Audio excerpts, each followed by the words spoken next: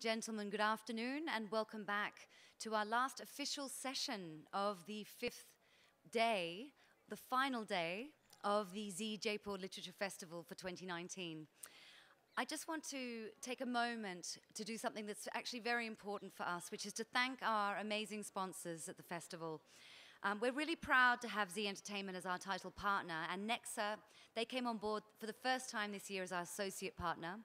We'd love to also thank our venue partners, Rajan Kilachand and the Bank of Baroda, the JCB Prize for Literature bookstore, managed by Full Circle. I hope you've all had a chance to visit the bookstore and buy lots of books. Our cause partner, Dettol Banega Swasth India, Black and White, who are our celebrations partner. Thank you to Jan Michalski, the Aga Khan Foundation, the Getty Foundation, J. Paul Getty Trust, British Council, Nordic Lights, Mahindra World City, Airtel, Kingfisher, Grover, CK Birla Hospitals, Avid Learning, and everyone else who's believed in the festival and continues their support. We're so, so grateful. Our new partners this year are Population Foundation of India, Child Labour Free Jaipur Initiative, DMI Finance, Dell, Sun Village, Air India, Ola, O2 Sparkle, and Svami. And big thank you to all of our publishers. None of us would be here without them. Penguin, MIT Press, Westland, Oxford Dictionaries, Murty Classical Library of India, Harvard University Press, and HarperCollins. So the future of, uh, of every festival every year depends on its growing relationship, not just with our sponsors, but with our existing and our new audiences. Uh, so we'd really like to thank our media partners for helping us get the word out. Red FM and Rajasthan's very own Patrika Group and Bhaskar Group for their generous support year after year and our new partners, Business Standard, Outlook, and DNA. And finally, our social media partners, Facebook and Twitter, have, of course, increased our reach around the world, and Vi- Vyus, Wattpad, and Launchora, our podcast partner. Now, you may have seen at the back of the program that they have actually announced the dates for next year's festival. So we really hope we'll see you all back here between the 23rd and the 27th of January 2020. So without further ado, I would love to introduce our final, our final session. Um, at the end of this session, I'm also going to get up and thank some of the people um, here that have helped us run Samvad, and we'll have a little special presentation. Um, so just to let you know, we are now going to begin Triple Borders, a journey to the edge of Europe. Forgive me one second. Just drop my notes. So we have with us Kapka Kassabova, who is in conversation with Max Rodenbeck, and this is presented today by the British Academy, who we're very grateful to have here. So Max Rodenbeck is a South, is South Asia Bureau Chief for The Economist. He studied history in Egypt, and between 1989 and 2015, he roamed the Middle East as a reporter. Um, he authored a biography, Cairo, the city, victorious, and he often writes not only for uh, many publications, but for the New York Review of Books. So we're very honored to have him here today in conversation with Kapka Kassabova. Would you please join me in giving them a warm welcome to our final session here at Samvad?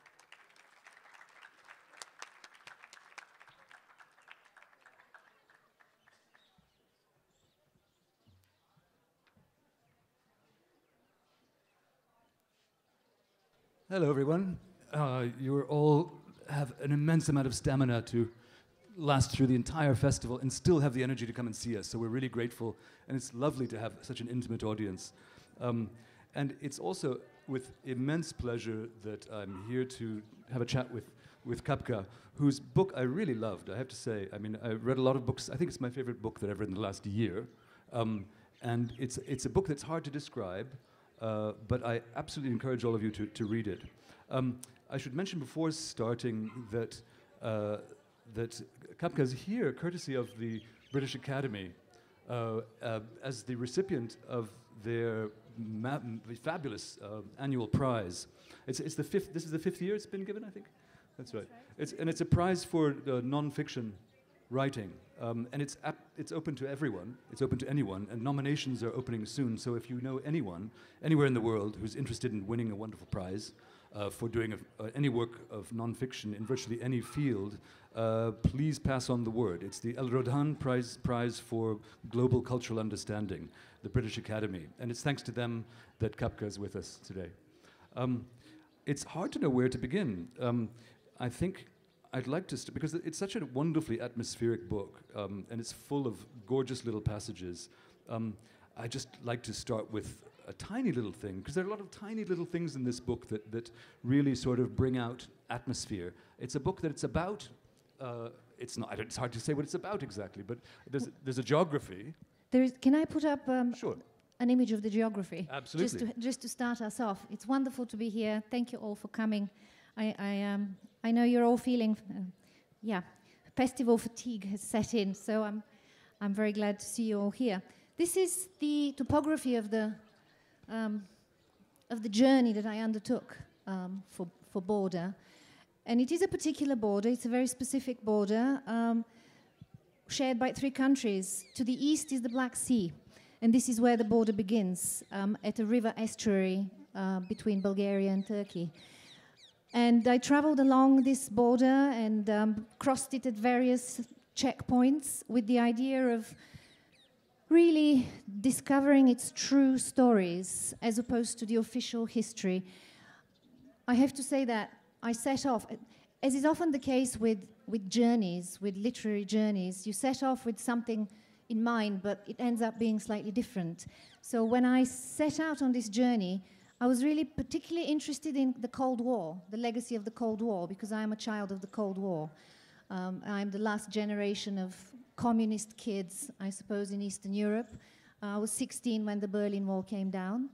Uh, some of you will uh, here are old enough to remember 1989, I think. Um, and I have always been fascinated by borders because growing up behind the Iron Curtain made me acutely aware of what a hard border means. Um, so I was always going to explore that, that border, the border of my childhood that I could never cross. So this is really what, what you're seeing there, that barbed line. I hope, I hope you, can, you can all see it. Is really what used to be the easternmost stretch of the Iron Curtain. It's now a soft border, but only for some, because this is exactly the land route into Europe for refugees from the Middle East. This is the land route. Everything else you have to cross by water. This is the land route. And it was also coming through Turkey and into either Greece to the west or Bulgaria to the north, um, which is where the European Union begins bureaucratically. Uh, this is where Europe officially begins. of course, as I discovered on this journey, you know, boundaries are much blurrier than that. Um, but that is, that is the, the scope of the journey. I think by Indian standards, by Asian standards, this is, this is a fairly modest, uh, sort of um, a fairly modest journey, but it, it felt very epic because the landscape is, uh, is mountainous. It's one of the last wildernesses of Europe, uh, one of the last habitats for the brown bear and so forth. So, so it's a fairly, fairly challenging terrain. Um, if, if, if, I might uh, just, just uh, uh, you know, uh, um, sort of pose a few questions. Um, you, Kapka, you, you, I mean, you've concentrated on this very, very small sort of geographical zone, and this is one of the things that's wonderful about this book. It doesn't cover immense territory, and you and your life have, however. I mean, you left Bulgaria, you've moved briefly to Britain, I think, and then all the way to New Zealand, and then all the way back to, and now living in Scotland. Uh, but you've also, I mean, as a, as a, writer, you've done poetry, you've done essays, you've done all kinds of things. So you, uh, you know, for someone who's traveled physically and mentally so widely, I thought it was, it was it, it's interesting that you decided to focus so closely on really a rather small territory. And I mean, which is, which is what brings out a lot of the richness of the book.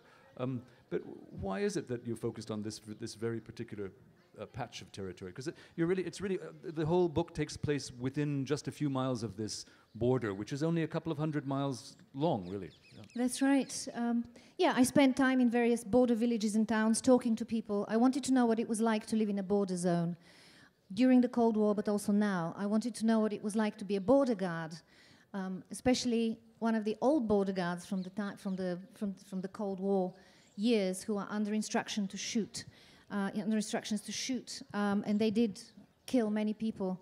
Uh, at the time, they were running the other way from the Eastern Bloc into Greece and, and Turkey, from the Soviet bloc into the so called West, even though geographically speaking it's the south, as you can see. All these paradoxes. Why this border? Because it shaped my childhood. It made me who I am. Growing up behind the Iron Curtain was a formative experience for me and, and for the, you know, for all of us in the Soviet bloc. I think the irony of the Iron Curtain, of course, was that it was designed, unlike borders today, which are designed to keep people from coming in, you know, the Iron Curtain was designed to keep us in. So, um, and it was interesting to see, I'll show you, interesting to see the original, yeah, there's some short stretches of the, of the Iron Curtain, curtain still stand, and to see, This is um, an archival image from the 80s, well, uh, when the Iron Curtain was still up, and these are just border soldiers on patrol with their dog. It's interesting to see that this installation, it was officially called the installation, you know, an electrified barbed wire uh, wall was turned inwards towards the inmates of the Soviet bloc rather than outwards towards the imagined enemy. You, you um, described that in a tiny little passage. There are a lot of very beautiful short little passages. Uh, you're describing it uh, as a child. How, uh, you say, as it slowly dawned on you why the border was there, so that people like us couldn't leave you developed a permanent border-like feeling inside you, like indigestion, which I understand very well. Do you, do you feel indigestion now? Do you still feel this border indigestion? I think I think um, people in the audience will be familiar with this border-like feeling because I think it's a, you know, India has has some very sensitive and traumatic borders, and it's the same in the Balkans. I think it's it's the same in all post-Soviet territories where the border was deadly where you could be shot for trying to cross it. Um, so that feeling, that's what I mean by formative experience. You know, you carry the border inside you. It's, it's, it's a wound, you know. It's not an exaggeration to say that. And visiting those places now, I'll show you what this stretch of the Iron Curtain looks like now. This is exactly the same place, but on the other side. Um, this is about one kilometer from the Black Sea so it's a very sort of fertile area, and nature has taken over. Most of the Iron Curtain has been sort of dismantled and taken sold, sold for scrap. You know, literally the scrap heap of history. Uh, so this, this, this is one of the rare stretches that still stand. I think they should be turned into, into a monument, you know, um, a visitable kind of attraction. Right, one wishes, like, like the Berlin Wall is now. Yeah. Like the Berlin Wall is now. And this was an extension. Hmm essentially an extension of the Berlin Wall. And the deadly incidents that happened along the Berlin Wall happened all along the Iron Curtain, which in fact ran from Finland, you know, the border of Finland and Russia in the north, to this, to my border on, that ends on the Black Sea. Right. Um, and you, you describe later in the book how, how this, even when you're crossing the same border, with a, with a passport, there's the European Union, there's no trouble, you have absolutely no legal reason to be worried at all. This, the anxiety still returns ab about border, just borders create this anxiety. Um, there is something about crossing borders that is just designed. I think it's the. Do they do it on purpose when they set up border, you know, checkpoints? It just induces a sense of anxiety, even when you have nothing to declare, even when you are not a refugee. Um, the Bulgarian-Turkish border, I'll show you the natural border on the sea with the Turkish flag on one side and the Bulgarian and EU flag on the other side. It's a very quiet, unassuming kind of place, but many people died um, during the Cold War trying to swim across, including lots of East Germans, Czechs, Hungarians who came to the seaside on holiday, to the Bulgarian seaside, and tried to paddle across into Turkish territorial waters. Now this traffic and this kind of, yeah, this deadly traffic, this, the, the tragedies of, of this sort of involuntary migration is reversed as people come from the east trying to cross, in, cross into the west. And there have actually been incidents of people being shot by border guards, Bulgarian and Greek border guards, um, in, just in the last few years. So it's still a deadly border for some. Uh, and your, your own uh, departure um, uh, as a child. I mean, here's another little passage which is just beautifully written.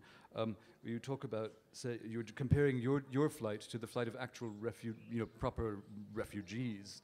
I, I, don't know if you could describe yourself as a, you're a different kind of refugee. You might explain that a bit. I'll just read this little tiny passage uh, saying, we, we were lucky not to be running from the middle of a hot war, only from the end of a cold one and not to be living in tents, but like Ahmed and Aisha, who had been spat out by the same loveless motherland. I love that, that image being spat out by a loveless motherland. I think you know that's that's exactly what the refugees' experience is. It's shared no matter what the cause. Um, but what was the reason that you left Bulgaria? I mean, what was the when when you left originally? Uh, uh, uh, back well, in the 80s? we were simply in the first wave of post-Soviet um, emigrants, really, to leave the Soviet, the Soviet world as soon as the Iron Curtain came down. We were the first wave in the early 90s. Um, until then, we had been prisoners of this, um, of this border, and um, yeah, we were among the millions who made a life elsewhere. And um, subsequent waves, you know, have followed. Um, it's, it's a kind of ongoing process. Um, it's part of globalization, uh, I suppose. There's, and there's a, there's a, there are ironies that come out in the, in the, in the story that often one comes across uh, uh, in, the, in the book. There are waves of people who left for one reason, coming back for another reason. Uh, one of the, the, the beginning of the book, you talk a lot about Germans trying to escape through this last bit of border in Eastern Europe, trying to escape from East Germany to the West and getting killed and shot and arrested and beaten and so on and so forth. Um, but then at the time that you visit, there, it's, it's, the border is crowded with Syrians trying to get to Germany. I mean, it- you know, and it's not so many years later. And there, there, there are similar circ- circularities. I mean, uh, on the other side of the border, you meet Greeks who have come from Anatolia and Turks who've gone from Greece to Anatolia, and et cetera, et cetera. You know, I mean, so, so that there's been churn all around this border in every direction. Uh, Absolutely, it's um, it's a kind of nightmarish merry-go-round. Um, you know, I discovered that the border is not really a binary place; it's a laby- it's a labyrinth. Um, and you, you're referring to the descendants of refugees from Anatolia and Cappadocia in Turkey who were forced because they were Christians to move into then new, the new Republic of Greece. And the same happened to Muslims from Greece and Bulgaria who were forcibly uh, removed to Turkey. We're talking about 100 years ago, but 100 years ago is not that long ago in terms of generational memory and what people carry psychologically and emotionally. So it's still in living memory. Well, this is something that comes out very, very powerfully in your book, is how, how close a lot of these memories are, uh, and how the. I mean, i one of the things that's interesting about this particular region also is, is the fact that along the border, it's become terrifically depopulated. I mean, it's largely depopulated vi- villages, so it really is populated by ghosts. I mean, refugees, displaced people, ghosts. It's a spooky place. It's a very spooky place. It's um, it's a haunted place, and I think that's that's partly the result of militarization. This was always a very militarized zone. I mean, the presence of soldiers during the Cold War meant that the locals left um, if they could.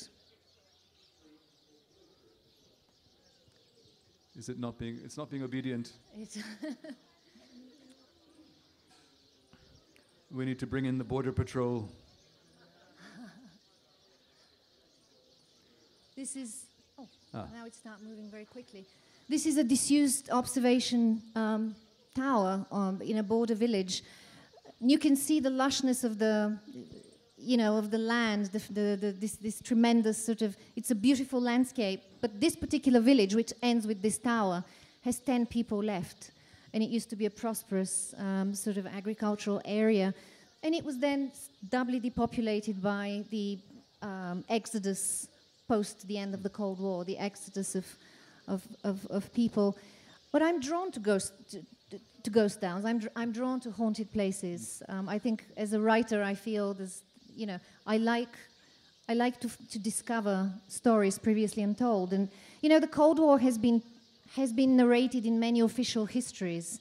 But the stories I heard from people like Zico, one particular character who is a, a people smuggler or used to be a people smuggler uh, from a border village, uh, the descendants of refugees from 100 years ago, um, you know, the woman who walked for a week to cross the border in the 1990s.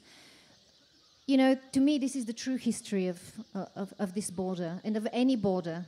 I mean, I'd, I'd love to visit the India Pakistan border, for example. I, I can only imagine what kind of stories can be can be found along along that traumatic border. Um, Absolutely, and, uh, but I think one of, one of the wonderful things about this book is it doesn't really fit into a category. I mean, I don't know what they sell it in bookshops. Is it sold as a travel as travel writing? Is that what is that the category that it's put into, or history? Where, where does it fall? I mean, what what do, because it, it, it isn't travel writing. This is much more about uh, texture, the texture of the human texture of a place. Um, and uh, uh, so, how do you categorize it? I mean, where, where would you would you put this? Uh, Well, it has been described as um, a book of human geography. Um, I had to look up what that what that means, but I, I think it's it's a fairly it's a fairly good description. I- it's about a place, but the story is narrated through the stories of living people, and of course, the living people also carry the ghosts of the dead, who were there before. I mean, for me, you know, for me, this was a, a journey of exorcism in a way.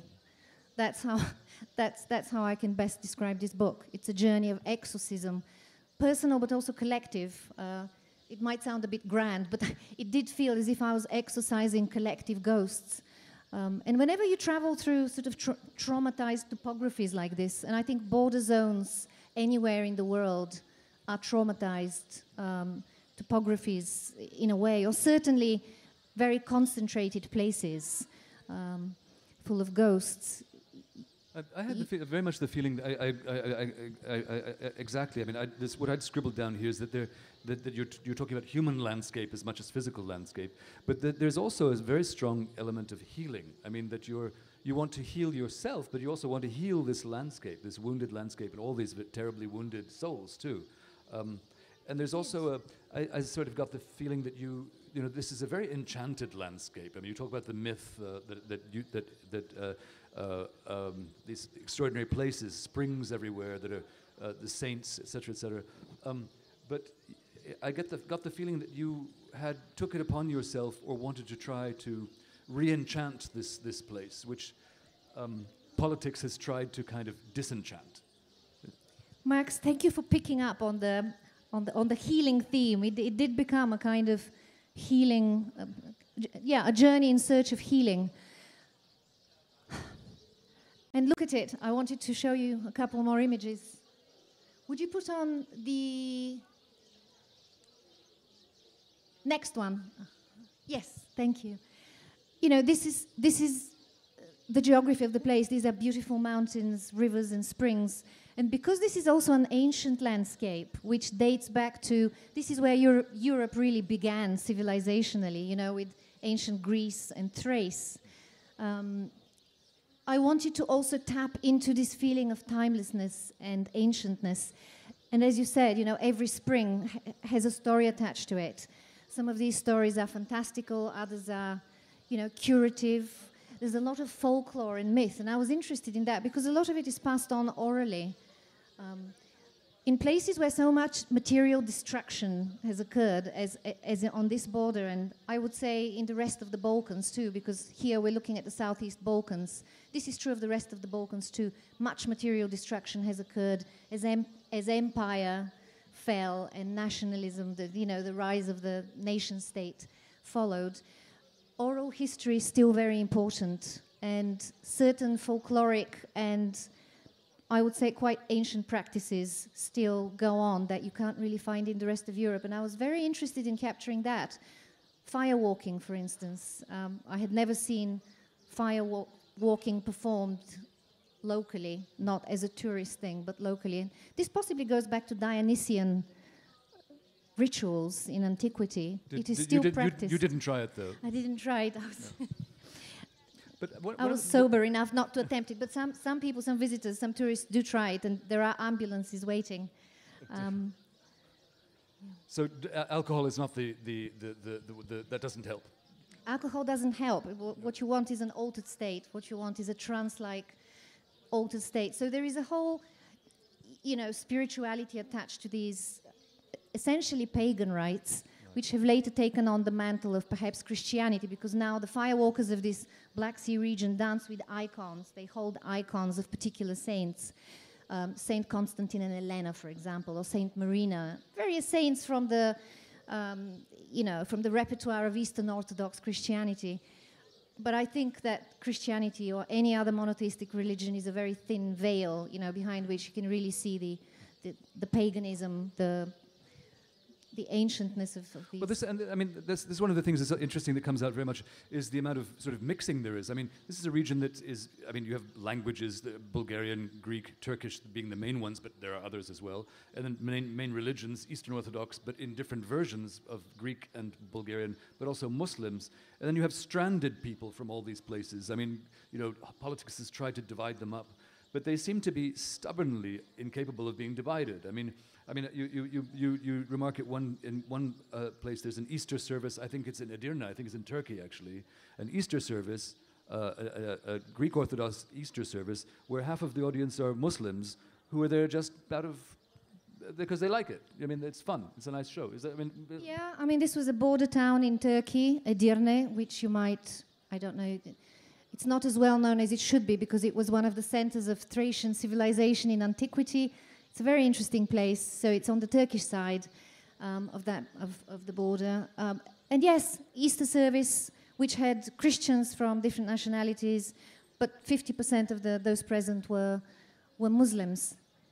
Though I have to add that some of them were had been expelled from Bulgaria. They had they were Muslims. They were Muslim Turks forcibly expelled from Bulgaria at the end of the 80s, which was a kind of horrendous incident that was hardly reported outside Bulgaria and Turkey, the two nations it concerned, but was really the prelude to what happened only a few years later in Bosnia.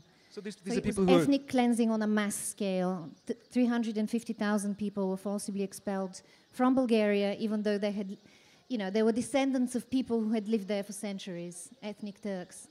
It was a hate campaign mounted by the communist government, which was in its kind of dying throes, and it was looking for ways to distract people from the fact that it had failed as a government. So it found a scapegoat, an easy scapegoat, uh, the Turkish minority. And um, yeah. And in, in, that, in that particular campaign, it was the Turkish minority. Um, and th these are people who are ethnically, uh, ethnically Turkish, but were more or less culturally Bulgarian who were then chucked Absolutely. into Turkey and didn't feel at home at all. Yeah. Yes, some of them couldn't speak Turkish. Right. So they were caught between two worlds, and that's very much a border story I wanted to capture. It's an untold story. It's one of the many, many stories that happened on a mass, you know, this is a mass scale event. This is a kind of catastrophic event that was not reported and has not been properly captured in film or literature. So I wanted to capture some of that. And there's a, I mean, you, you, one of the great things about this book is that it captures to a great extent, I mean, it's, it's, I wouldn't, it's not fair to say this, but it's kind of history from the point of view of the losers, so to speak. I mean, a, a lot of the, the, the, the groups that, are, that populate this border are losers uh, in one way or another. They're people who've been refugees from one side or another. And there, there's some that are really forgotten. I mean, like the, like the Turks expelled from Bulgaria, but also the, the Pomaks is another uh, group, or Kurds. Um, you, you, you, oh, the Roma, the gypsies. The Roma, the, gyps- the gypsies are the most obvious, and I mean, who are believed to have actually Indian roots, I think, and mm. their displacement goes back forever. But in fact, you have a the, the, you have a wonderful gypsy character who, ironically, is um, one of the only people who's permanent. I mean, he's in, located in one place. Would you like to talk about him? Yeah, he's one of the one of the most sort of memorable people I met on this border. He actually lives on the Black Sea coast in Turkey uh, near the border. And he's, um, he's an interesting man. He's from the gypsy community of this small seaside town. He's a Muslim, and for the last 30 years, he has been a voluntary guardian of this rock monastery, a Byzantine rock monastery that the authorities, for some reason, have no interest in preserving as a, as, as a cultural monument. So he self appointed as a guardian of this rock monastery, even though he's a Muslim, and has sat on a chair outside the rock monastery for the last 30 years unpaid. And when I talk to him, he is one of the chapters of the book. His story is, is, forms a whole chapter um, because I found him so inspiring. He was one of the many inspiring losers, as you put it. Interesting word. I suppose, what, what is a loser of history? Someone who has known suffering. Well, I think, I think yeah, Donald Trump has redefined what a loser is. He's always talking about losers. Um, and basically, well, a loser is someone who doesn't agree with him. Um, I think if you spend time near a border, you discover that, and if you look at things through deep time rather than in the only in the present moment, you discover that if you wait long enough, you, you know, sooner or later, you too will be a loser of history because history is constantly shifting. And I think in a border zone, that is particularly tangible. So it's really just a question of time. Um, I, I, like this. There's a little passage, again, I'm just going to read one sentence. Uh, about a, a, Kurdish woman who's sort of waiting, waiting to get from one place to another, um, and sort of stuck there with her family. Uh, she carried her uncovered head high, her gaze hard and unflinching, her skin a bit pale after the long Balkan winter of waiting and smoking, cooking and hoping. It was a wonderful, wonderful, quick, short sketch of someone who's really just. Yes, this was a Kurdish, Iraqi Kurdish family I, I spent a bit of time with on the Bulgarian side of this, this border, and they were waiting, you know, for, to have their asylum status confirmed. And the answer had been no. They'd just received the answer, so they were they were distressed when I met them. They'd been waiting for a, for a year, and the answer was no. So when I last spoke to them, they had been waiting for two years on that border, um, not really being able to have any sort of normal lives, uh, and not wanting to go back. And I don't know what has happened to them. And I wanted to write. it is so difficult to write about mass movements of people so the best really you can do as a narrative writer is to capture at least one story, you know, to, to get close to one person, to have one meaningful encounter. Um, and this family, the irony of this border was that among all the people I met who were fairly hospitable, this family of refugees were the most hospitable. After inviting me to lunch, uh, after spending a day with them, these people had lost everything, you know. They had lost everything. All they had was their lives. And at the end of the day, they said, Why don't you just come and stay with us while you're here? Don't pay for a hotel. Just come and stay with us. We have a spare bed. And I think they said stay with us permanently. I mean, just just stay forever. I mean, it wasn't. There was no. He uh, said no you are welcome indefinitely. Right. Of course, playing on that terrible term that all people who have applied for visa know indefinite leave to remain. And that's that sort of hospitality seems to be something you find again and again. I mean, there's a there's a priest, a dancing priest you find, Father Alexander, at one point, uh, and you apologize for having dropped in on his house, and uh, and he, his answer is, "We only like guests who drop in without notice," which I thought was charming. He's an interesting figure. He's an Orthodox priest living in a Turkish border town, and obviously, you know, he's one of the very few remaining Christians after the big exchange of populations a 100 years ago. Um, just like the Muslims in Bulgaria and Greece are, are, now a relatively small minority. These, of course, were all Ottoman lands, um, you know, the ultimate sort of cosmopolitan culture um, for, many centuries, reduced now to these sort of enclaves um, of, of, people still holding on to the shreds of, of, of a once rich cosmopolitan um, world. So I was interested in capturing the shreds of that civilization before it's completely destroyed. Well, I think that's, that's one of the things that's interesting, and it would be it has a sort of uh, uh, resonance in India as well. Um, the, the, zone that you're talking about was really, I mean, it, it, it's part, was part of the Ottoman Empire for centuries and centuries and centuries, and its kind of overall identity of the whole region was as a, a part of this vast empire where there were no borders, so people mixed freely back and forth. And so it became a complete sort of tabula salad, all scrambled up of all kinds of people. And then with the collapse of the Ottoman Empire, you have nationalisms coming in that put in borders that were never there in the first place. And you have, an, you have an, one of these wonderful, brief little things. You, you say, uh, uh, nationalism is like that. It won't let people be. You know, quite simple. Um, uh, but I mean, I think we've we, you know, we've seen similar things with the collapse of the British Empire, which then in, in the subcontinent threw up borders that were never there before. Um, are you against nationalism? Well, traveling along a border like this has taught me to have fewer opinions, um, but to listen better. So, really, the lessons of this border, the lessons of Balkan history in general, because this is very much part of the Balkan legacy of the Ottoman legacy, the Byzantine legacy, post communism, all of those factors. Really, the lesson is that nationalism has been extremely destructive in the Balkans. Um, not that empire was perfect, of course. Uh, I, am not a, you know, I'm not nostalgic about empire. It's, it, it, it's. I guess I'm. I don't have the answer, but I want to ask the right questions, and uh, I think the people of the border have the answers. And by telling me their stories, by gifting me their stories, it was like receiving these wonderful gifts, um, because these are really people who have witnessed something. Um, and, and, you make it clear that in terms of nationalisms, there are no saints at all. I mean, the Turks may have been nasty, but everyone, everyone has had their turn at, at, at, at being nasty. Um, I want to move on to something else. I mean, when we talked earlier about being spooked, there's a, there's a part of the book that, that, that, that uh, was, is very evocative, where you, um, you encounter a people smuggler. Uh, is it Zico? Is that his name? Zico. Uh, is that a, do you have a picture of him? My goodness.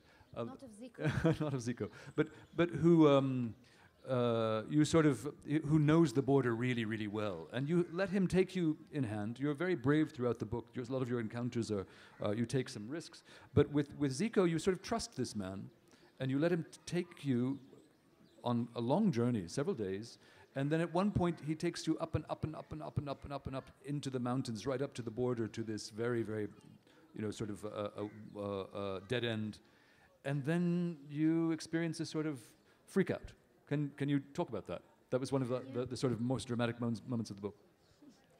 Yeah, I suppose that, I d- I didn't want that to become a central sort of story because it's not about me, but it was a very, it was a key moment uh, for me because it was a visceral experience of this border. It wasn't a case of simply visiting and listening, it was a case of feeling what this border felt like for the many who were killed there or who ran for their lives to cross this border. And it happened, this incident happened in, in these mountains between Greece and, and Bulgaria. This is one of the last houses on the border.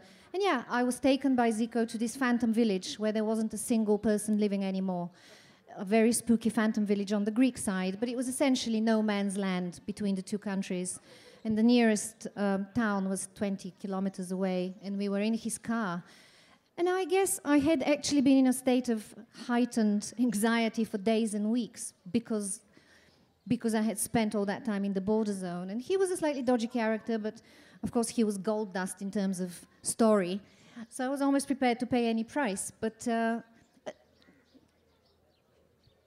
there was a moment when I thought so many people have lost their lives on this border during the Cold War, but also during the so called exchange of populations after World War One and during World War Two, there was the, the, Greek Civil War going on and a whole other drama um, there. Who am I to think that I'm too special to die here? You know, this this could happen to me too. So I thought that he was in. He, he had that he had prearranged some kind of meeting with other people smugglers where they would kidnap me and you know later i was told by a local woman actually a mountain ranger a greek mountain ranger who took me on a further adventure she said you were crazy to you were crazy to go up to that phantom village with um, with a man you don't really know, and kidnappings do happen here, and all sorts of things happen here because nobody can find you in these mountains, you know, and you have no phone signal, so it's perfect, you know, it's perfect for smugglings of all sorts. Um, so your instinct was right. Yeah, I had the feeling reading the book that your instinct was right, but it was pure instinct at that point. You just ran in a, in a completely deserted village. Yeah. When you're you in a wilderness you, like you, this and you have no you phone for signal, 20 kilometers or so. Yeah. You just run. You know, you, you're not thinking. You know, you're not thinking anymore. It's you know, it, it's back to your animal instinct. And in a way, I'm grateful that I, I had that experience because otherwise, I wouldn't have fully understood this border. And I think there, there, there, there was um, you you felt something else that was kind of hard to describe. Um, that you felt a sort of stickiness of the place, that it, it, was hard to leave after a while. I mean, one of the springs, uh, there's a myth that if you drink from it three times, I think you, you'll, you'll, you're destined to, to stay. Um, but you, you ex- describe the, the, the sort of um, pull of this landscape that you felt like somehow, in order to leave, you had to go through a ritual departure. What was that like? I mean, you, you described a very interesting ritual. Well, I'm drawn to water. I find something very, I think we all find something healing about water, and especially natural springs um, high up in the mountains. This, this, for instance, this is not a spring, this is a river. It's a border river between Bulgaria and Turkey. It's actually the natural boundary between the two countries, and it ends at the Black Sea. I, I visit, you, you mentioned, you said enchanted. You used the word enchanted. It is an enchanted and a cursed landscape um, in terms of the energy it carries and the symbolism it carries and, and the stories it carries. And I did find it hard to get away from it. It has an addictive quality. It's, it's as if you're descending into a realm, into an enchanted realm, which is also um, dangerous. And I, ended up visiting this a particularly um, symbolic spring on the border, the, the, spring of Saint Marina, which is associated with the cult of Saint Marina, who in turn is, is the protectors, the protector saint of snakes and of course, snakes are highly symbolic in, in Balkan mythology because they can turn into dragons, and dragons are humans in disguise, and so on. So I ended up visiting that place and drinking from that from that spring, and finally just turning my back on the border and, and driving away after two years of traveling in, you know, two years of living with these ghosts and, and, and these stories and it's always good to visit the spring, isn't it? But there was another ritual. There was an interesting ritual. There was this, this overturning your footprint, which I thought was very interesting. About kind of you had to go through a ritual with a sort of uh, witch doctor. I mean, I don't. Would you, how would you describe her? I mean, she's a sort of uh, a shaman who had to erase your footprints in yeah. order to lighten you and let you go, which I thought was interesting. I'm not particularly superstitious, but I was very interested in these healers, these local healers of the border region again, practicing what is probably quite, um, quite ancient, ancient rites and beliefs, um, far removed from any kind of um, monotheistic religion, even though she said she was a Christian. But she still practices things like, you know, lifting the evil eye, um, you know, lifting a spell, uh, cleansing your energy. And she performed, she performed for me a, a ritual which I'd never heard of before, called um, reversing the footprint where you step you step in what she described as uncontaminated soil, energetically pure soil, and then she cuts out your footprint with a knife and buries it so that all that you are carrying stays in the ground and you can then continue on your way um, lighter without carrying all these all this burden. So she said that I was energetically burdened. I wanted to I wanted to know all about the border, and that included phenomena that I don't necessarily engage with personally. But I think the task of a writer is to see and hear everything, and I tried to do that. Um, and also, she was an interesting character. She sounds extraordinary. Well, speaking of seeing and hearing everything, I think we're ready to take some questions. Uh, if we have, ah, uh, there's a gentleman back there. Do we have a, a, a mic? Can we? Yes. Uh, back there, yes, that fellow with the beard and glasses. Uh, hello, thank you. Uh, uh um, uh, thank you for that sort of lovely discussion. But um, and forgive me if my question is a little scattered. But what what what, what I wanted to ask was, in some sense, of course, these areas were tremendously cosmopolitan under these vast empires. And, maybe I'm thinking more of Austria-Hungary, which is, I mean, that area I know a little better than the one that you went to. But um, if you, in, in some sense, when you walk along the modern borders, you recognize that the cosmopolitan, uh, uh, cosmopolitanism existed and it's gone away. You know where the other ethnicities are because sometimes they live within you. Uh, but if you go to the old cities, um, which were actually the other location where people mingled, um, they seem to have vanished completely. And I was just wondering if you had a thought about um, is it in some sense that borders are still more optimistic places than these old, once multicultural and now monocultural cities, which are actually quite depressing when you think about their past? Thank you for that. It's um, well, it's spot on. I mean, it's you've. what can I say? The cities are even more depressing. Indeed, cities like Edirne, um, you know, which had multiple nationalities, tongues, and religions practiced, including Jews. And I think there is one in Edirne. This is where one, the Orthodox one family left. One Jewish family left. It, you know, it used to be 40% Jewish, um, and other such places. you know, what's interesting about the border is that, of course, it suffers from the same syndrome. But it's as if it has more surprises. It's a periphery. You know, border, border zones are always both paradoxically at the forefront of history in the sense that the people of the border are the first to feel the effects, you know, of new laws, um, new policies decided on in the centers of power, which are usually far away from the borders, um, which is not a coincidence. At least in the Balkans, that's the case. And at the same time, they are forgotten. You know, they are the ultimate periphery. But the longer you spend, I think the longer you spend in the periphery, if you become involved with its local kind of, with, you know, with local life, with, with the kind of rhythm of, of things, you discover that it's, a, it's its own center, which, you know, calls into question the whole idea of centrality. Um, and certainly the centers of power, you know, have always felt, uh, I, I think, free to take, you know, to make decisions with impunity which affect people in, you know, uh, you know, in fatal ways. And yet, the very fact of being forgotten, um, I think, gives people a kind of, I don't know, they make their own laws. You know, they, they survive as best they can. And I think that in itself is worth celebrating. And I think even though my book tells many sad stories, it ended up, I ended up feeling as if I was celebrating something. I was celebrating survival and commonality and the fact that we really do share much more than, than that which divides us. Um. that's, that's the healing side of the book, I think, it comes out very strongly, in, but also very subtly in, in this lovely book. Uh, do we have any other? Sure, sir, in the front.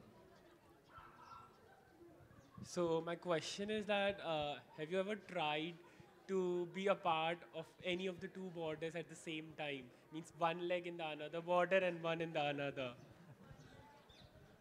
Did you, did you, did you understand? Yeah. Have you ever straddled the border with one, one foot on one side and one on the other? That's, that's your permanent state of existence, I think, isn't it? A little bit?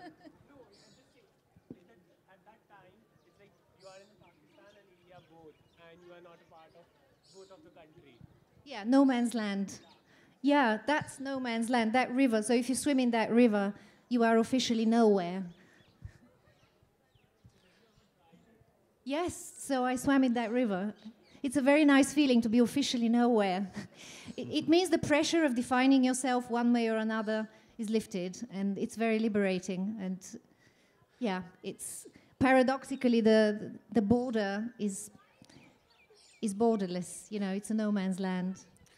But at the same time, to cast a little shadow over this, I mean, at one point in the book, there's, you describe a, a shepherd on the Turkish side of the border who just says hello to a, shep- a shepherd on the other side of the border, and he's arrested and given a 14 year sentence for uh, treason, which is shocking. That's the kind yes. of thing that goes this on. This is the kind of thing that goes on in border zones. He was, this is, was in, in the 70s, not now, but in the 70s, during the at the height of the Cold War, when Turkey, Bulgaria had a communist dictatorship Turkey had a military dictatorship.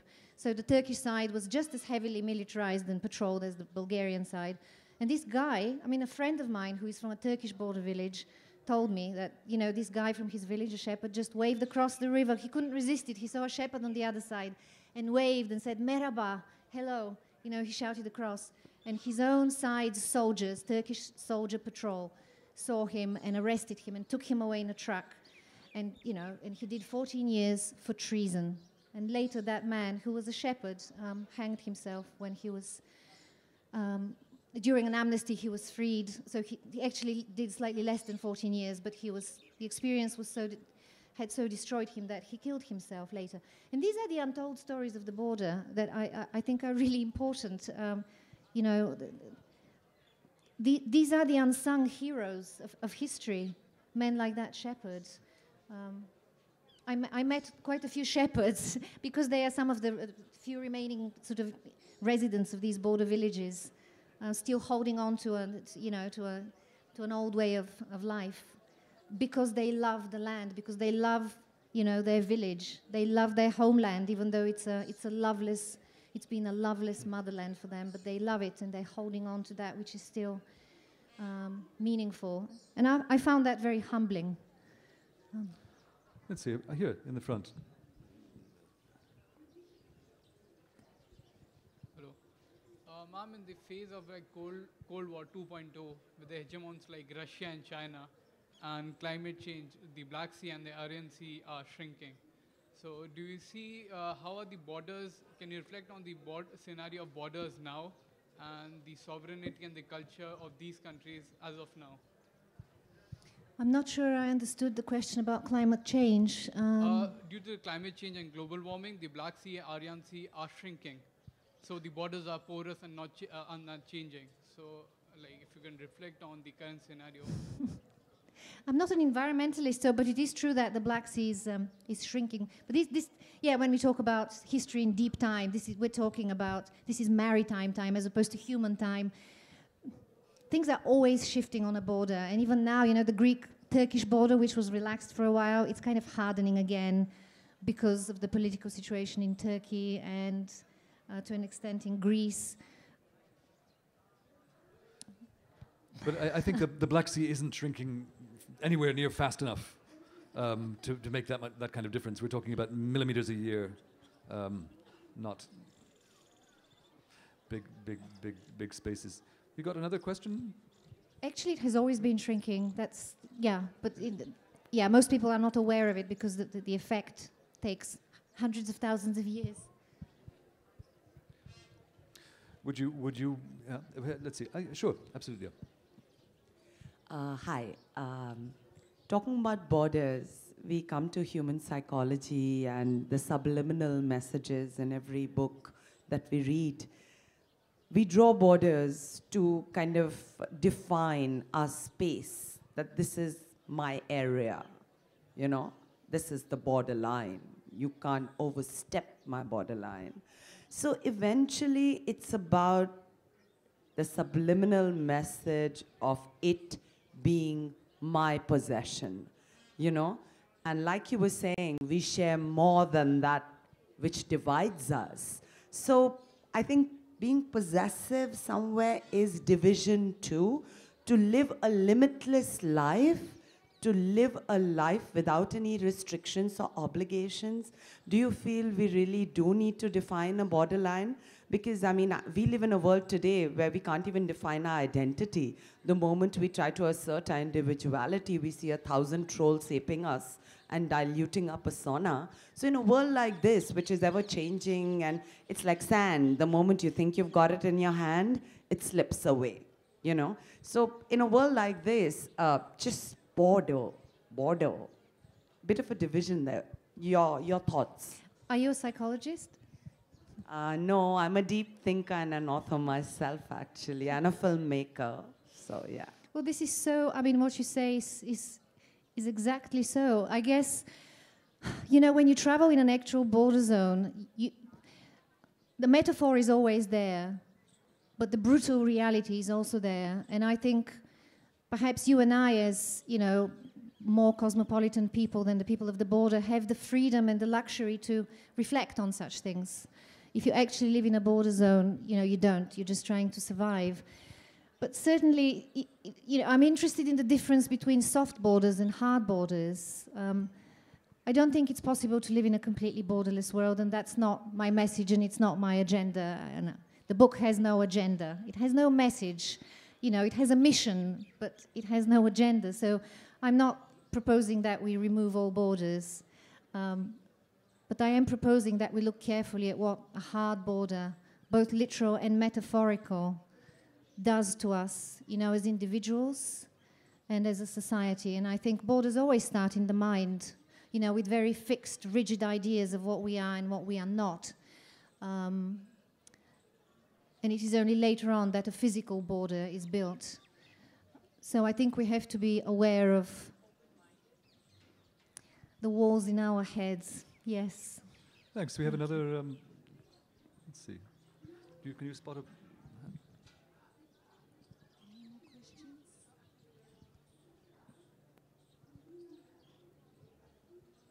Oh, all the way over there. Okay, sorry. Oh, there's the, the lights are in our faces. It's hard to see.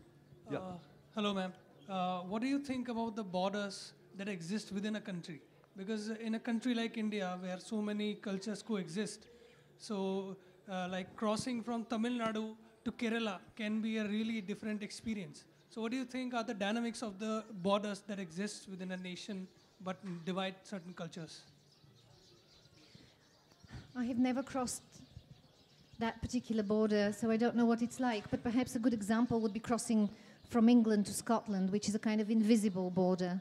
Um, it's not a bureaucratic border, so I suppose there's a difference between the luxury of crossing a border that was once hard but is now more, you know, more of a sort of more of a symbol, and going through an actual checkpoint with armed soldiers. Um, I'm not sure that I, I, uh, I have enough experience of India. Uh, I, am certainly aware that India's national borders have a lot of history and a lot of trauma um, attached to them. And I think there are many unexplored stories there, I, I suspect. Um, I think the borders between different parts of India are more. Uh, I mean, they're just there, there's no physical barrier at all. So I don't think they don't they don't quite uh, uh, cover the same. Uh, I mean, India is more like the Ottoman Empire, or something like that. A great empire that's filled with different languages and people of different ethnicities that all move freely within the same space. Um, so you don't have refugees from Tamil Nadu in Kerala. I don't think, for example. Maybe they should. There should be.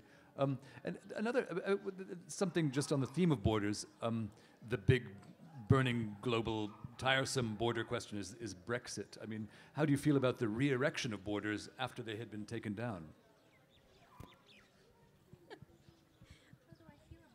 So, well, I, I, I, you know, it, it, it's a historic deja vu for me. It's, it's. Uh, someone described Brexit as a self-inflicted wound, and in that sense, and yes, that's the beginning of a border. You know, it's a mental construct, and it infects entire communities, entire nations, and before you know it, you've got, you know, a hard border again between, you know, Ireland and Northern Ireland. So, obviously, that's going backwards. I, I think there is a regressive a regressive um, process going on.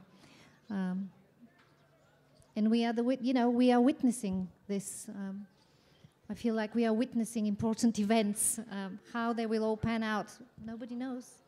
And in, in America, there's Mr. Trump trying to build a border fence. You know, I mean, we had thought that we'd moved beyond that in, in, in the last century. Suddenly, we seem to be regressing. Uh, it's a bit tragic.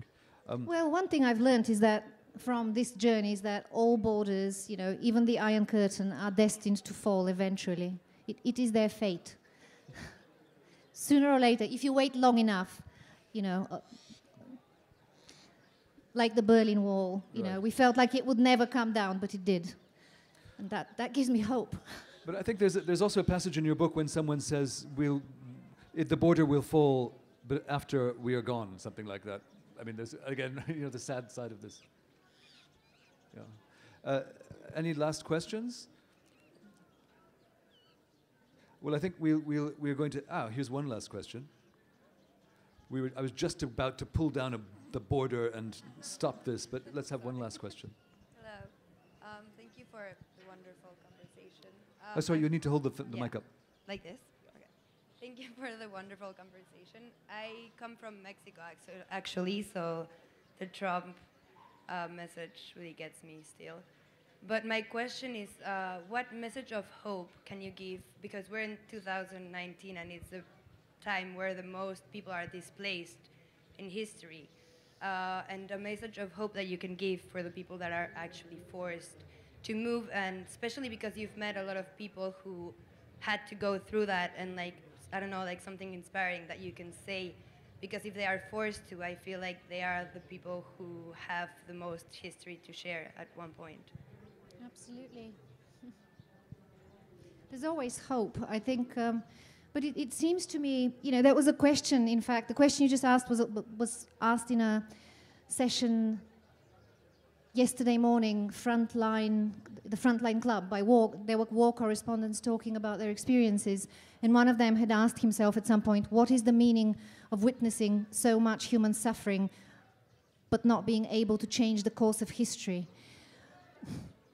I think it's actually more important than ever to simply connect with others, you know, to, to be able to see and hear people who are not like you in some way. Because I think we all have a tendency to, to live in our own bubbles. you know, culturally, experientially, um, generationally. So it's important to reach out, and I think that's one way we can contribute as ordinary citizens, um, you know, to a, to, a, to a more connected, a more humane world. Simply reaching out and being able to see and hear people on a human level, beyond all else, you know, beyond all labels and, and definitions and borders. I think if you can do that, there is, there is hope. And I think that very much something that your book achieves, actually. Well, thank you very much, uh, Kapka. Can we please have a round of applause? And please do buy and read this won- wonderful, wonderful book. Thank you. Yes, thank you so much. What an absolutely fascinating session to finish on. Thank you so, so much to our panelists, Kapka Kassabova and Max Rodenbeck. We are so grateful for your time. And uh, we'd just like to just do a quick personal thank you also to our wonderful team here at Samvad. If you could just put, do, put your hands together, not only for our wonderful panelists, but for Sujata, for Diksha, for Panini, for Ayush and Ashutosh, for Charlotte, the whole AV team, for all the camera crew. Everyone's worked so hard. Thank you so much. And for Laurel. Oh, cultural identities. And don't forget, there's the closing debate, which is coming up at 5.15 on the front lawn. It's Do Liberals Stifle...